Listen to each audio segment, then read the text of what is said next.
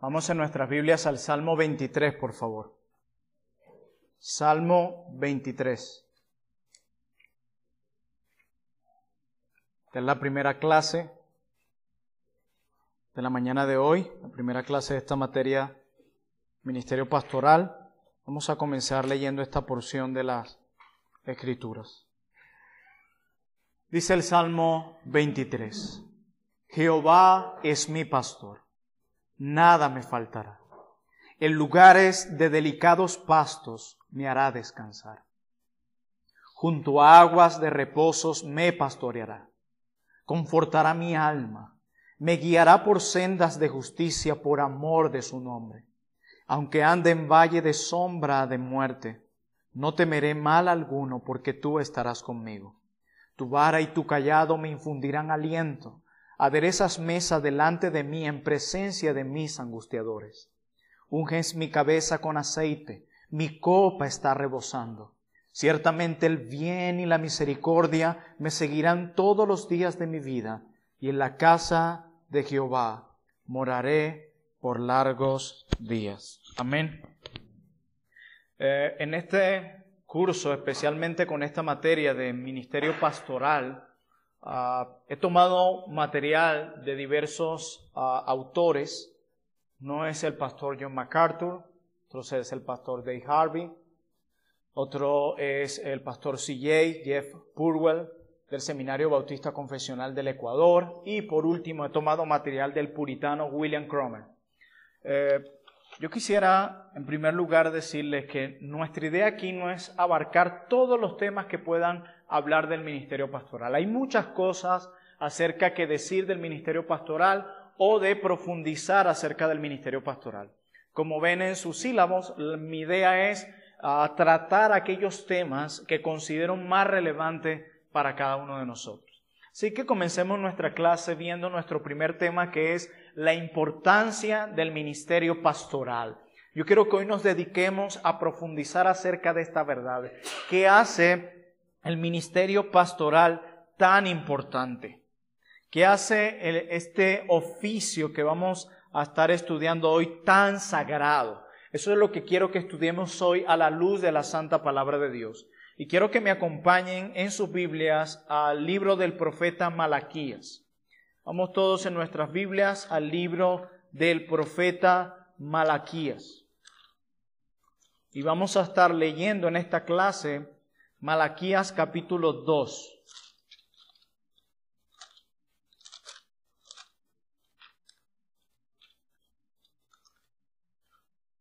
Malaquías capítulo 2, vamos a leer los versos 1 al 9 de Malaquías y nos vamos a enfocar en el verso 7.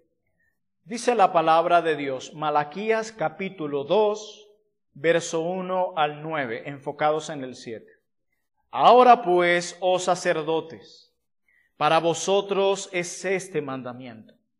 Si no oyereis y si no decidís de corazón dar gloria a mi nombre, ha dicho Jehová de los ejércitos, enviaré maldición sobre vosotros y maldeciré vuestras bendiciones, y aún las he maldecido, porque no os habéis decidido de corazón. He aquí yo os dañaré la sementera y os echaré al rostro el estiércol, el estiércol de vuestros animales sacrificados, y seréis arrojados juntamente con él. Verso 4. Y sabréis que yo os envié este mandamiento, para que fuese mi pacto con Leví, ha dicho Jehová de los ejércitos. Mi pacto con él fue de vida y de paz, las cuales cosas yo le di para que me temiera. Y tuvo temor de mí, y delante de mi nombre estuvo humillado. La ley de verdad estuvo en su boca, e iniquidad no fue hallada en sus labios. En paz y en justicia anduvo conmigo, y a muchos hizo apartar de la iniquidad. Y aquí está nuestro texto porque los labios del sacerdote han de guardar la sabiduría y de su boca el pueblo buscará la ley. Porque mensajero es de Jehová de los ejércitos. Mas vosotros os habéis apartado del camino, habéis hecho tropezar a muchos en la ley, habéis corrompido el pacto de Leví, dice Jehová de los ejércitos. Por tanto, yo también os he hecho viles y bajos ante todo el pueblo, así como vosotros no habéis guardado mis caminos y en la ley hacéis acepción de personas. Amén. Miremos qué palabras tan fuertes de Dios hacia estos líderes religiosos. Pero miren lo que dice el verso 7 y es aquí donde quiero comenzar para dar inicio a mi introducción. Porque los labios del sacerdote han de guardar la sabiduría y de su boca el pueblo buscará la ley, porque mensajero es de Jehová de los ejércitos. Hermanos míos, todas las tribus o etnias del mundo siempre han tenido un guía, siempre. Eso no es algo nuevo, eso no es algo extraño para nosotros. Ellos siempre han tenido un guía que los dirija en sus caminos de religión. Cada religión tiene un guía, un líder que supuestamente los guía o los dirige hacia su Dios. Y yo quiero que ustedes sepan que Dios estableció desde el principio que el hombre o que un hombre pudiera ser dado por Dios para guiar al pueblo de Dios, siempre. Por ejemplo, Dios eligió a las cabezas de la familia. Dios eligió a los patriarcas como fue Abraham, tenemos a Isaac, Ah, luego nosotros tenemos ah, cómo se le dio de manera más formal a esto con Moisés. Luego tenemos a Josué y así sucesivamente. Nosotros vemos siempre a Dios concediéndole un nombre al pueblo para que éste lo guíe a él. Eso siempre ha existido. A Dios le ha placido obrar así. Dar un nombre a su pueblo para que guíe a su pueblo hacia él. De hecho, es lo que dice Malaquías 2.7 porque los labios del sacerdote han de guardar la sabiduría. Esa es su primera responsabilidad. Y de la boca de este líder, de la boca del sacerdote, el pueblo buscará la ley. Y es a través de la palabra de Dios que nosotros conocemos a Dios. Y esa es la labor del líder. Dice, porque mensajero es de Jehová de los ejércitos. Dios siempre ha determinado tener un guía en medio de su pueblo. Un líder en medio de su pueblo un mensajero en medio de su pueblo. Siempre ha sido así. Y luego que el pueblo de Israel se establece ya bajo la ley, nosotros encontramos cómo se le da más formalismo a ese liderazgo. ¿Con quiénes? Con los levitas. Ellos pasaron a ser líderes religiosos del pueblo. O sea, vemos como este siempre ha sido el patrón de Dios. Pero nosotros también encontramos a los profetas ahí en el Antiguo Testamento. No solo tenemos a los patriarcas, no solo tenemos a los levitas, sino que tenemos luego a los profetas. ¿Y qué era lo que hacían los profetas, mis hermanos? Los profetas eran aquellos que hablaban de parte de Dios y dirigían al pueblo a buscar a Dios. A veces cuando las personas en nuestro tiempo escuchan la palabra profeta, piensan en un hombre con un pañuelo en la cabeza y una bola de cristal al frente. De hecho, si ustedes ven en nuestros tiempos, la mayoría de las iglesias carismáticas, cuando hablan de profetas, ¿de qué se están refiriendo? Se están refiriendo a alguien que ellos invitan a venir de afuera a decirles algo sobre el futuro, etcétera, etcétera. Como si esa era la labor fundamental de los profetas en el Antiguo Testamento, y eso es un error, error. Ellos lo hacían. Y cada una de sus profecías tenían que ver con el plan redentor de Dios. Las profecías del Antiguo Testamento de los profetas no eran, mira, tu marido te va a engañar mira, yo no sé, tu economía va a mejorar. No, todas las profecías del Antiguo Testamento te estaban conectadas directamente con nuestro Señor Jesucristo y el plan redentor de Dios. Siempre. No era sencillamente alguien sentado en una bola de cristal y estos hombres hablaban de parte de Dios. ¿Ustedes no han leído los profetas? Así dice el Señor porque ellos hablaban de parte de Dios. Pero ellos también dirigían al pueblo a buscar a Dios. Los profetas se caracterizaron por llamar al pueblo de Dios a volverse al pacto, a que no olvidaran el pacto que Dios había hecho con ellos. Era un llamado al arrepentimiento. Los llamados, los falsos profetas de hoy lo que hacen es poner paños de agua tibia y alimentar el ego de las personas. Pero estos profetas en la antigüedad no eran así. Hablaban de parte de Dios y llamaban al pueblo al arrepentimiento a volverse a Dios. Era por eso que a ellos no los querían. Es un problema con los profetas de hoy que todo el mundo los aplaude y son amigos de medio mundo. A estos profetas los rechazaron, estuvieron a puntos de la muerte y ustedes solo tienen que abrir sus Biblias para darse cuenta de eso. No es algo que yo estoy inventando. Abre tu Biblia, eso está ahí.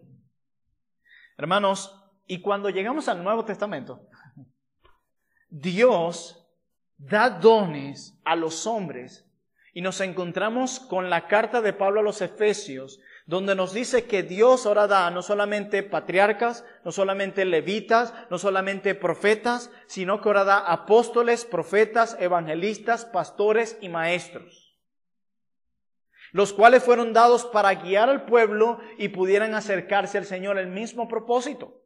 Los apóstoles ponen el, pusieron el fundamento junto con los profetas. Y todo esto cesó. Por eso ya no creemos en la vigencia de los apóstoles. No tengo el tiempo para probarlo ahora y no es el tema principal de mi clase.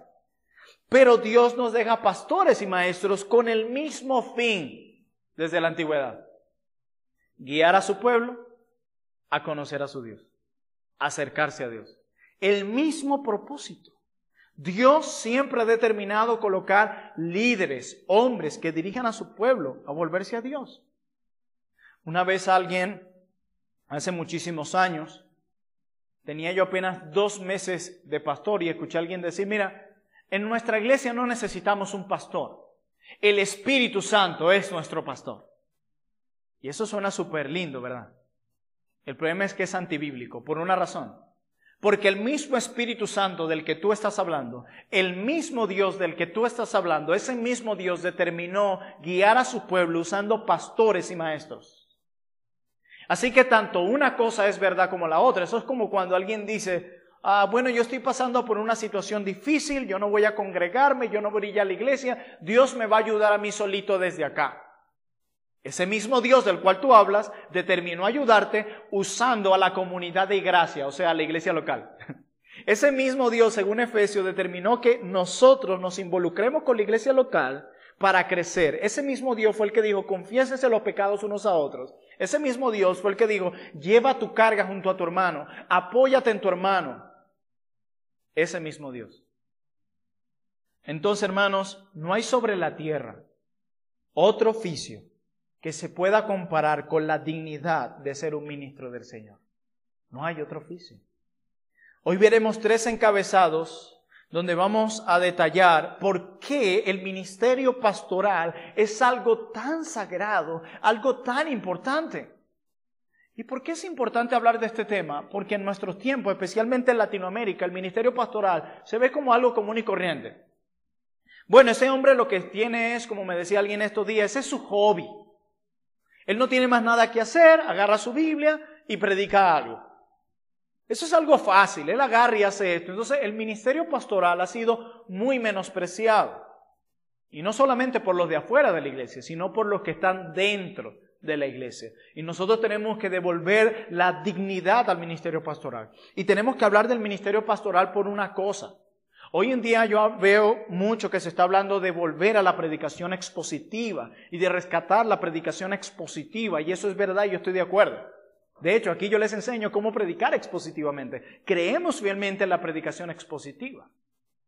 Pero siento que nos estamos olvidando de levantar de nuevo el ministerio pastoral, de hablar de nuevo del ministerio pastoral, de hacer la labor del ministerio pastoral. Así que coloquemos allí en primer lugar, tomen allí en sus notas. Coloquen, aunque el pastorado es un ministerio sagrado, aunque el pastorado es un ministerio sagrado,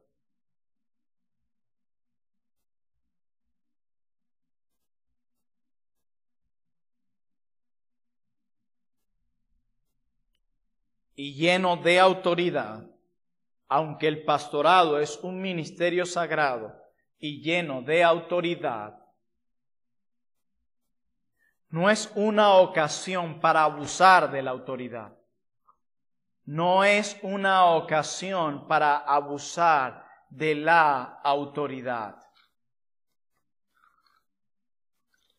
Acompáñenme a la primera carta del apóstol Pedro, capítulo 5, por favor. Primera carta del apóstol Pedro, capítulo 5.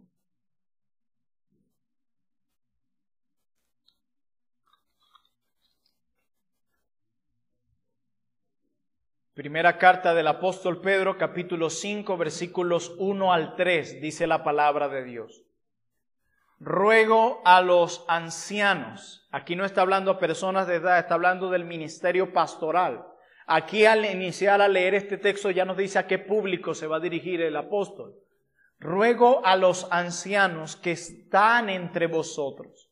Yo anciano también con ellos y testigo de los padecimientos de Cristo que soy también participante de la gloria que será revelada. Apacentad la grey de Dios que está entre vosotros, cuidando de ella, no por fuerza, sino voluntariamente, no por ganancia deshonesta, sino con ánimo pronto, no como teniendo señorío sobre los que están en vuestro cuidado, sino siendo ejemplos de la grey. Repito, hermanos, el hecho de que este sea un ministerio sagrado y lleno de autoridad no es una ocasión para abusar de la autoridad.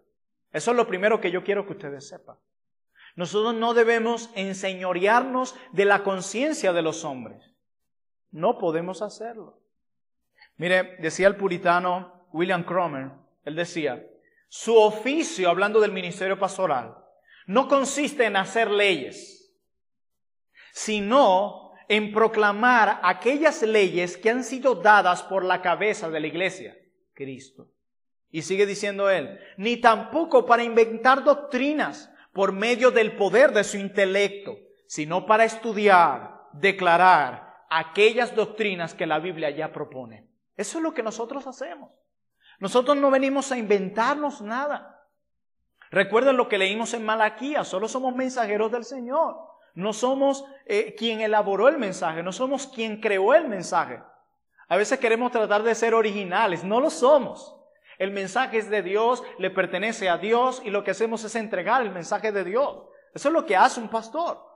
Nosotros no podemos abusar de nuestra autoridad inventando doctrinas y reglas. Eso es un pecado sumamente grave. Eso fue lo que los fariseos llegaron a hacer. No es un secreto para nosotros, esto no es nuevo lo que yo voy a decir, que muchas iglesias hoy hacen reglas, establecen reglas que están fuera de la palabra de Dios. Toman esa autoridad para establecer reglas y obligar a sus miembros que las cumplan. Y hermanos míos, es necesario obedecer a Dios antes que a los hombres. Si lo que tú me estás pidiendo hacer no encaja con la palabra de Dios, yo no estoy en obligación a obedecerte. Tú lo que has hecho es abusar de esa autoridad.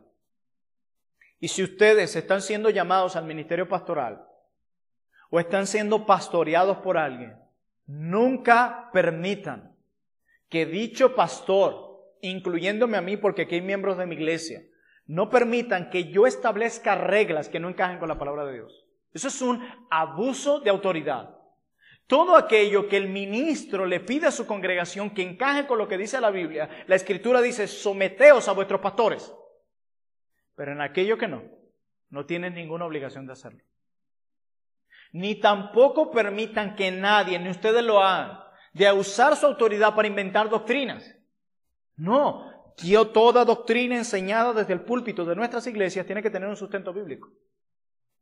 En su contexto. ¿Y por qué añado la palabra en su contexto? Porque es muy fácil citar la Biblia. Cualquiera la cita. Satanás la cita. Eso no es lo que me preocupa. A mí me preocupa cuando usamos textos fuera de su contexto, que queremos decir algo que el Espíritu Santo nos dijo solamente para apoyar lo que queremos plantear. Así que el hecho de que este sea un ministerio sagrado y lleno de autoridad no quiere decir que vamos a abusar de nuestra autoridad. Ahí lo leímos en la palabra inspirada de Dios en Primera de Pedro. Segundo punto, como ministros de Cristo, como ministros de Cristo, no se nos está permitido, como ministros de Cristo, no se nos está permitido enseñorearnos de la iglesia, vamos a ir desglosando más este punto, como ministros de Cristo no se nos está permitido enseñorearnos de la iglesia,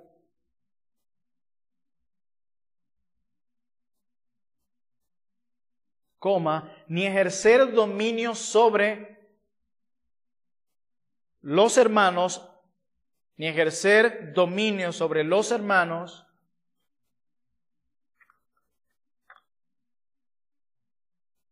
en el cumplimiento del sagrado oficio. No ejercer dominio sobre los hermanos en el cumplimiento del sagrado oficio. Esto va muy ligado a lo que acabo de decir. Hay pastores, y Dios nos guarde de eso nosotros, que usan dicha autoridad para imponer pensamientos y cosas en la mente de la grey. Hay pastores que usan su autoridad para determinar cómo sus miembros deben pensar y actuar. Alguien contaba acerca de un pastor que iba a la casa de sus miembros y abría la nevera. Mm, mira, ¿qué están comiendo ustedes? Ustedes no pueden comer esto, ustedes no pueden comer aquello, ustedes deben comer así. Pasó de pastor a nutricionista. ¿Les parece? Hasta allá no llega nuestra esfera de autoridad. Oh pastor, ¿de qué color debe ser el carro que yo me voy a comprar o la casa o la zona? Nosotros no podemos usar nuestra autoridad para enseñarles a nuestros creyentes, a nuestras ovejas, imponer pensamientos en la mente de ella y cosas que no nos corresponden. Nuestra labor es eclesiástica, nuestra autoridad es eclesiástica, pero no podemos decirle a nuestros miembros qué comer, qué hacer, dónde vivir, qué color de ropa usar, etc. Y lamentablemente eso es algo que está pasando hoy. Hoy incluso en algunas iglesias, ya no sé si llamarlos iglesias, ah, se le llama hasta el pastor papito. Tú dices, ¿a qué tontería hemos llegado? La falsa doctrina nos desvía de la verdad rápidamente y nos convierte en personas muy tontas, a creer cosas muy tontas y a perseguir cosas muy tontas. Y hermanos míos, cada uno de esos hombres han usado su autoridad para abusar de ella. Tres.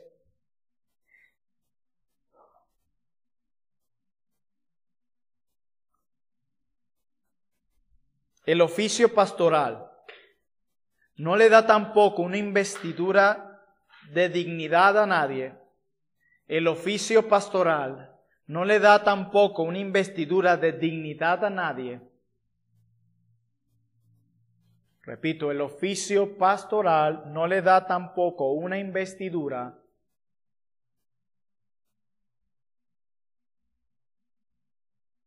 de dignidad a nadie.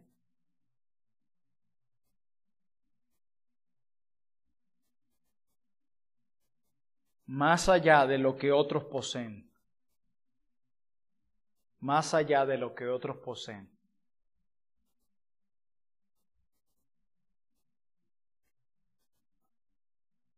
Explico. Bueno, todos en esta iglesia deben ser buenos padres. Pero yo, como soy el pastor, a mí no me pueden exigir tanto eso. Es lo que estoy diciendo. Este ministerio pastoral no te otorga una dignidad a ti más allá de la que otros tienen. Si la esposa de los miembros de la iglesia de un pastor tiene que ir a la iglesia, o mejor dicho, si la esposa de un miembro, correcto, sí, si la esposa de tus miembros tiene que ir a la iglesia, la esposa del pastor también. Eso es algo así. Eso no te otorga una dignidad a ti de que tú estás en un otro nivel. No juzguen al, al ungido de Jehová, dicen algunos. Pues eso no es lo que dice la Biblia. De hecho, Santiago sin temor dice, ¡Ey, no se hagan maestros muchos de vosotros! Porque no los van a juzgar, no, porque habrá mayor condenación. Entonces, hermanos, nosotros debemos entender eso. Porque si nosotros no entendemos eso, nosotros nos vamos a ver abusando de nuestra autoridad en el ministerio pastoral para decir, bueno, mira, a mí no me estén demandando eso, yo no tengo por qué estar aquí de primero, yo nada más puedo llegar aquí al culto cuando yo vaya a predicar, yo no tengo por qué llegar temprano, usted sí tiene que llegar temprano. No, mi hermanos, ese es un completo error. Dios nos guarde de eso. Y a veces podemos asombrarnos y será esto importante, claro que sí, esto es muy común verlo hoy, de diferentes maneras. Abusos de autoridad de diferentes maneras. Hay un problema con el abuso de poder. A veces creemos que el principal problema de nosotros es el dinero, otras más, sí, pero también el abuso de poder. Es muy común ver eso. No solo en los gobiernos, sino en las iglesias locales. Pero volvemos a la pregunta. ¿Por qué afirmamos que el pastorado es un ministerio sagrado? ¿Por qué? De nuevo, coloquen allí. Lo que hice ahorita fue más como un preámbulo. Esos cuatro puntos fueron más, tres puntos fueron como un preámbulo. Ahora yo quiero desglosar más detalladamente qué hace que el ministerio pastoral sea sagrado. Pueden poner punto uno o A, como consideren. En primer lugar, lo que hace que el ministerio pastoral sea sagrado es por los nombres y títulos que se le dan. Lo primero que hace que el ministerio pastoral sea sagrado es por los nombres y títulos que se le dan.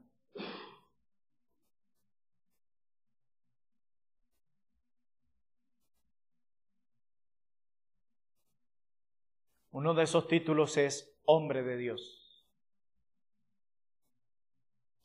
Y ese no es cualquier nombre, mis hermanos. Que tú seas llamado hombre de Dios. Eso es un título sumamente grande y profundo en verdad. Miren lo que dice segunda carta de Pablo a Timoteo, capítulo 3, verso 16 al 17. Toda la escritura es inspirada por Dios y útil para enseñar, para redarguir, para corregir, para instruir en justicia, a fin de que el hombre de Dios sea perfecto, enteramente preparado para toda buena obra. Ahí, hombre de Dios, se está refiriendo al ministro. Se le está escribiendo un ministro, quien es Timoteo. Y Pablo está diciendo que la palabra de Dios tiene el poder para llevar a la madurez cristiana a este líder, al cual se le llama hombre de Dios. Un título sumamente maravilloso, profundo, y que todos nosotros quisiéramos tener. Si ustedes van al Apocalipsis, se les llama a los ministros ángeles o mensajeros de Dios. Así se les llama. Ángeles o mensajeros de Dios. Pero mensajeros a quién? Somos mensajeros a un mundo perdido. Nosotros estamos aquí en esta tierra trayendo un mensaje a este mundo perdido. Mi hermano querido, si tú eres pastor o quieres ser pastor, yo quiero que tú veas este título que Dios le da al pastor. Eres un ángel, un mensajero de Dios. Y tienes la responsabilidad de traer un mensaje puro a este mundo perdido. Un mensaje que salva a este mundo perdido. Un mensaje que transforma al hombre, al hombre, perdido. Ese es el mensaje que nosotros proclamamos. Y esa es la labor número uno de la iglesia de Cristo. Proclamar este mensaje. Somos ángeles de Dios predicando su mensaje. No nuestro mensaje, su mensaje. Pero hay otro título que se le da a los ministros que hacen que este oficio sea tan sagrado. No solo se le llama hombres de Dios, ángeles, mensajeros de Dios, sino pastores. Increíble.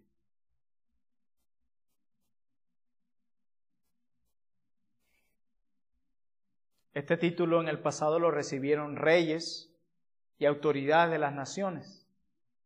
Siempre ha sido una marca de gran respeto este título, de pastores.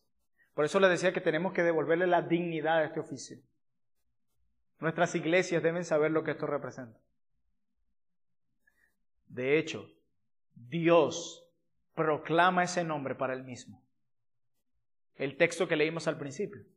Jehová es mi pastor. En otro punto de la Biblia dice que Jesús es el príncipe de los pastores. Este título es tan sagrado. Mira esto. Este título que se te ha dado a ti si eres pastor es tan sagrado que Dios mismo lo ha tomado para él. Pastor. Y nosotros sus ovejas. Y los pastores que hacen? Velan y cuidan el rebaño. Eso hacen los pastores. Y tú y yo tenemos que estar en contacto con las ovejas. Por eso. Mira, yo he visto hombres que aman la predicación. Y tú lo ves que cuando les toca predicar, aman ese día. Lo aman. Yo amo la predicación. Y tú si quieres ser pastor o eres pastor, debes amar la predicación. Pero yo los veo que aman la predicación, pero no aman o aman muy poco a aquellas personas a quienes le predican. No tienen la misma pasión cuando les toca aconsejarlas, ayudarlas o asistirlas. Y todo pastor debe oler ovejas. Pero ¿cuál es el requisito para oler ovejas? A ver, pregunta de preescolar. ¿Cuál es? Así es. Si no la tienen junto contigo, usted no va a oler. Mire, si usted le pasa un pastor, y no se, no se me acerque, por favor. Pero si usted huele pastor, y no huele oveja, para ilustrarlo, hay un problema serio ahí. No, pero él ama la predicación, qué bueno. La predicación, como vamos a ver aquí, es central en el ministerio pastoral. De hecho, cuando tú y yo predicamos la palabra, estamos pastoreando. Una de las características que se dice del buen pastor en el Salmo 23 es que él lleva a sus ovejas por delicados pastos, las alimenta. ¿Y cuál es el alimento que Dios nos da? Su palabra. ¿Y qué hacemos los pastores cada domingo? Predicar su palabra. Quiere decir que cada vez que usted predica la palabra, usted está pastoreando. Pero eso no es todo. Usted tiene que oler ovejas. Tú no eres omnipresente, tú no eres omnisciente, tú no eres omnipotente, pero dentro de todas tus facultades, tú tienes que tratar de tener un acercamiento de ellas. Decía el pastor Sugal Michelin que el libro más importante a tener al lado de nosotros, en nuestro escritorio, es la lista de miembros. Rubén y yo en nuestro escritorio tenemos la lista de membresía. Cada semana hay que revisarla. Cada semana hay que llamar a uno, dos, cinco, diez, quince de los que están allí